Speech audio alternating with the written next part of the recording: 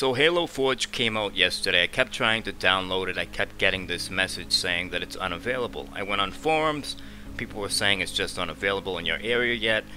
Long story short, it is now 1:30 a.m. Eastern Time the following day and I keep getting this message. The only thing that seemed to work for me was to actually update Windows 10 to get the anniversary update. There might be another way, but for some reason this is the only thing that helped me in this particular scenario. So I'm not telling you to go out there and download this update. I myself, I'm not a huge fan of updating constantly and having my hard drives get bloated uh, from this Windows application, but I'm just giving you a suggestion. If you want to go and check out Halo Forge and nothing else has worked, you're getting the same message when you do go onto the store, maybe give this a try.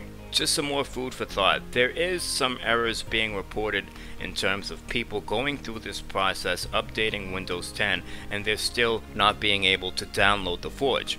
This has worked for some people.